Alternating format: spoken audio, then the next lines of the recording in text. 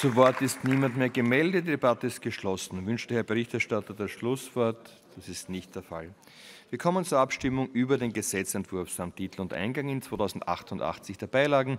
Ich ersuche jene Damen und Herren, die für diesen Gesetzentwurf sind, um ein Zeichen der Zustimmung. Das ist mehrheitlich angenommen. Wir kommen zur dritten Lesung.